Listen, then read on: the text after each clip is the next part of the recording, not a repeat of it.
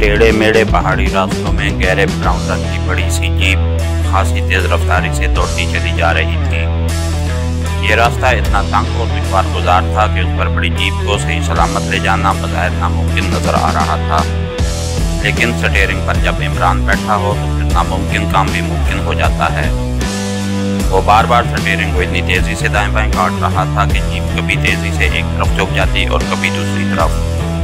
और हर लम्हा यूँ महसूस होता है जैसे अभी पलक झपकने में जीप हज़ारों फुट गहरी गारों में जा गिरेगी। मगर एन आखिरी लम्हे में जीप संभल जाती है।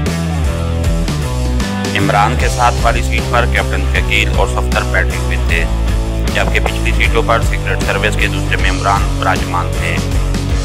इस बार इमरान जोलिया, जोसफ और जवाना को अपने हमरा न लाया था, क्योंकि जोसफ और जवाना किसी तरह भी मेकअप में झुक न सकते थे, और जोलिया शदीद जख्मी थी। काफरिस्तानी मुहिम में गो इमरान समेत तमाम मेंबर जख्मी हुए थे, लेकिन उसके बावजूद इमरान ने देर करना मुनासिब न समझी और काफरिस्तान से फौरी तौर पर वापस पकेशिया पहुँचने के बाद उसने रूसिया में दाखिल होने का प्रोग्राम मुरतब कर दिया।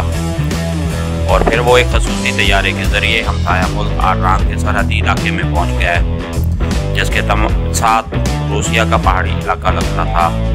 और आरान में सीक्रेट सर्विस के फॉरन ग्रुप ने उन्हें हर किस्म की इमदाद देने के साथ साथ रूसियाई इलाके में खुफिया तौर पर दाखिल होने के तमाम इंतज़ाम भी मुकम्मल कर दिए थे। इस वक्त वो सब रूसिया ही मेकअप में थे। उनकी जेबों में ऐसे कागजात मौजूद थे जिनसे ये ज़ाहिर होता था कि वो जोग्राफियाई सर्वे टीम के मेंबर हों।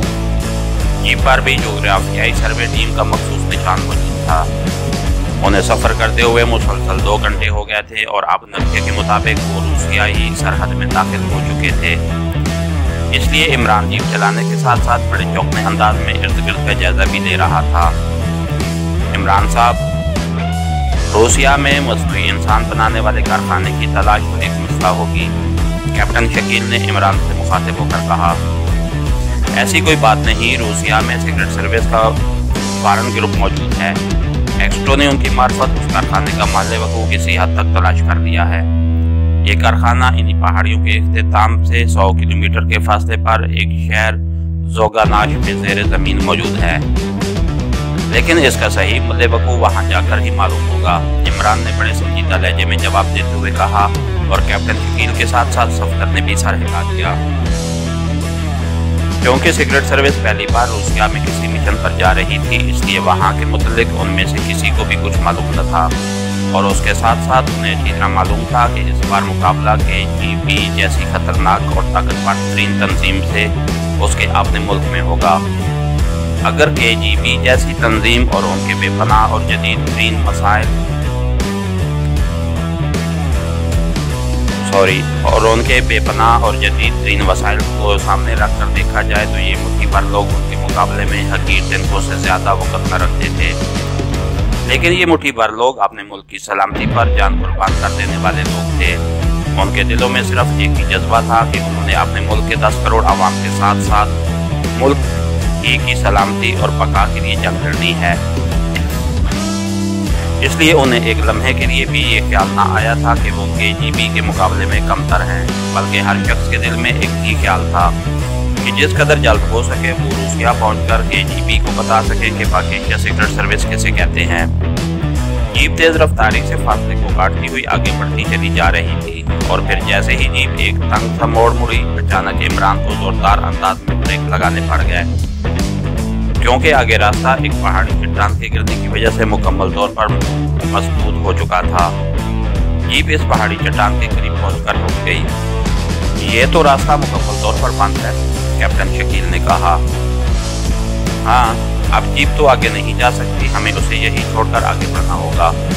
इमरान ने बड़े मुतमिन लहजे में कहा और फिर दरवाज़ा खोलकर वो नीचे उतर आया और दूसरे लम्हे उसके सब साथ ही नीचे उतर आए। सामान कमरों पर ला दो और चलो इमरान ने दरवाज़ा खोलकर सीट के नीचे रखे हुए एक बैग को घसीट कर बैग निकालते हुए कहा, और फिर थोड़ी देर बाद वो बैग को पर लादे चट्टान को क्रॉस करके पैदल ही आगे बढ़ते चले गए। अभी उन्होंने थोड़ा सा फासला ही तय किया होगा कि अचानक इमरान की कलाई पर जरबे लगना शुरू हो गई। उसने तेज़ी से हाथ बढ़ाकर कलाई पर बनती हुई ट्रांसमीटर वाट का विंड बटन मखसूस अंदाज में दबा दिया और दूसरे लम्हे घड़ी में से एक बारीक सी आवाज़ निकलने लगी। Hello hello mission thirty one calling over बोलने वाले का लहजा दबा दबा सा था। Yes mission thirty one speaking over Imran ने घड़ी से मुँह के करीब करते हुए कहा, आप लोग टेढ़ी पहाड़ी को पार कर चुके हैं या नहीं? ओवर दूसरी तरफ़ से परेशान से लहजे में पूछा गया, हम टेढ़ी पहाड़ी को पार करके अब उल्टी पहाड़ी पर मौजूद हैं। रास्ता एक चट्टान करने से बंद हो गया था। इसलिए जीप में ही छोड़कर पैदल चल रहे हैं। ओवर इमरान ने इधर उधर देखते हुए कहा, ओह, आप फौरी तौर पर सड़क छोड़कर दाएँ तरफ़ वाली पहाड़ी से नीचे उतरना शुरू कर दें। यहाँ अचानक हालात बदल गए हैं। के जी बी ने थर्टी वन को गिरफ़्तार कर लिया है और शायद उस पर तशद करके उससे पहले आपकी आमद के मुतालिक सब कुछ मालूम कर दिया है। क्योंकि थर्टी वन के साथ साथ 32 और 30 को भी अचानक गिरफ़्तार कर दिया गया है। क्योंकि मेरे मुतलिक थर्टी वन को पूरा इलम ना था, इसलिए मैं अभी बचा हुआ हूँ। और के जी बी के मर्डर फोर्स की जीपें उन्हीं पहाड़ियों पर जाती हुई देखी गई हैं। ओवर दूसरी तरफ़ से परेशान लहजे में कहा गया, ओह, मगर अब आगे बढ़ने के इंतज़ाम का क्या होगा? ओवर इमरान ने चौंक कर पूछा, आप बेफिक्र रहें, मैंने मुतबाद इंतज़ाम कर दिया है।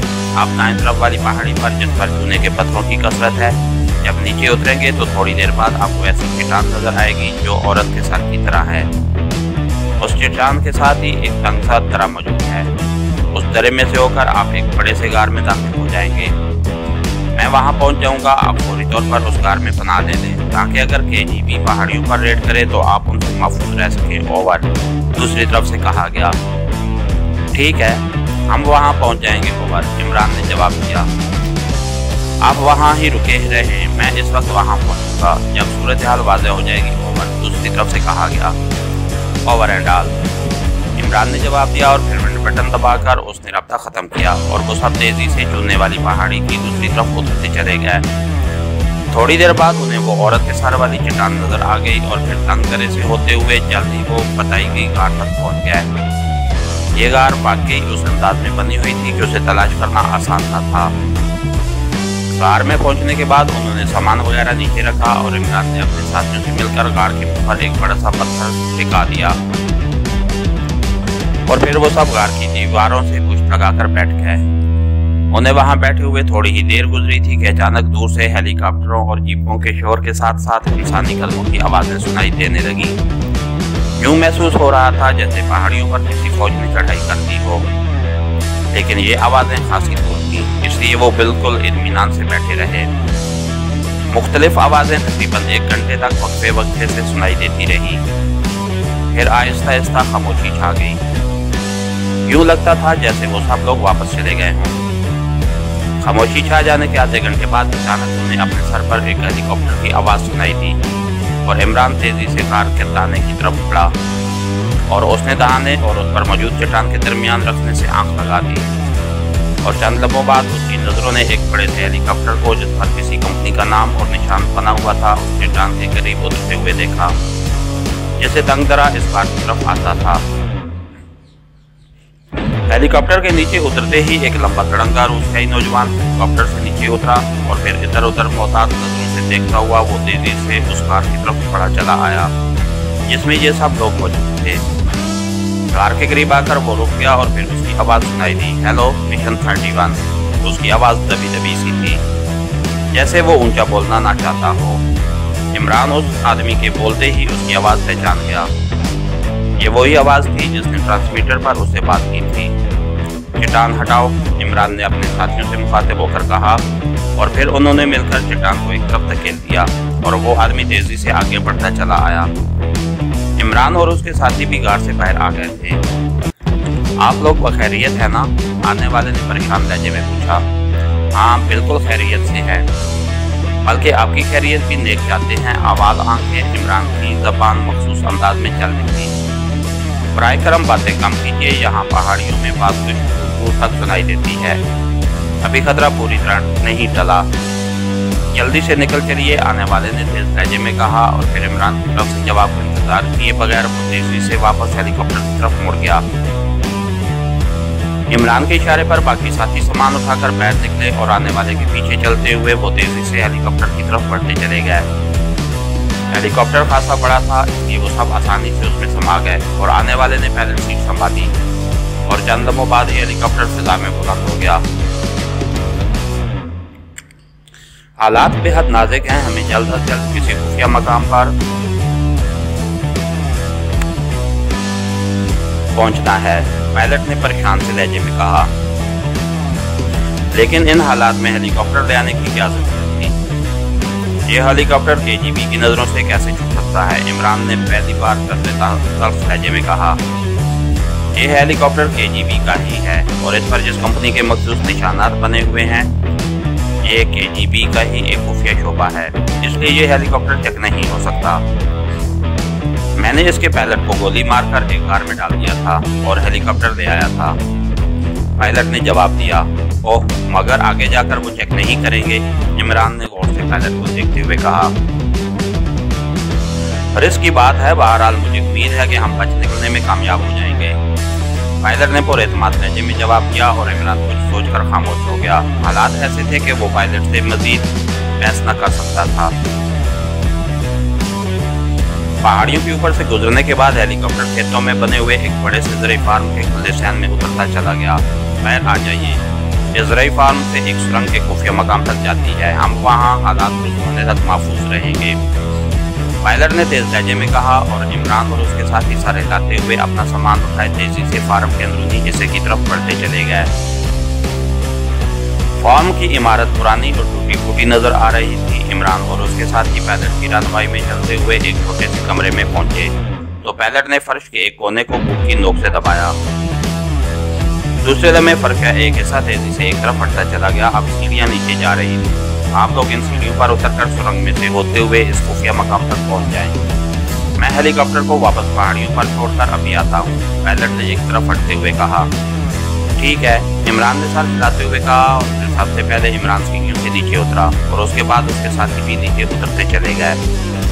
सीढ़ियों के इख्ताम पर वाकई एक पुरानी सी सुरंग नज़र आ रही थी। यूँ लगता था जैसे ये सुरंग कई सालों से इस्तेमाल में न आई हो। पूरी सुरंग सड़ी पड़ी थी, हर तरफ़ काट कबाड़ बिखरा पड़ा था। अलबत्ता सुरंग में हल्की हल्की रोशनी मौजूद थी। जो छत के करीब बने हुए छोटे छोटे सुराखों में से अंदर आ रही थी। सुरंग पार करने के बाद वो एक बहुत बड़े कमरे में पहुँच गया। इस कमरे की हालत भी सुरंग जैसी ही थी। अलबत्ता यहाँ रोशनी और हवा के इंतज़ाम निस्बतन बेहतर था। कमरे में लोहे के चार पलंग और एक मेज कुर्सी मौजूद थी। कमरे में पहुँचने के बाद उन्होंने सामान उतार कर एक तरफ़ रखा। और फिर वो पलंगों पर यूँ बैठते चले गए, जैसे तवील सफ़र के बाद किसी आरामदेह होटल के एयर कंडीशन कमरे में पहुँच गए हों। कुछ भी हो, बहरहाल ये मकाम फौरी तौर पर खासा महसूस नज़र आ रहा था। इमरान ने गौर से कमरे को चारों तरफ़ देखा और फिर उसने अंदरूनी जेब से गायकर निकालकर कमरे की दीवारों को चेक करना शुरू कर दिया। उसे खतरा था कि कहीं कमरे में कोई माइक्रोफोन या कैमरा नज़र ना हो। मगर गायकर की आवाज़ ना निकली तो इमरान के चेहरे पर भी इतमान के आसार छाते चले गए।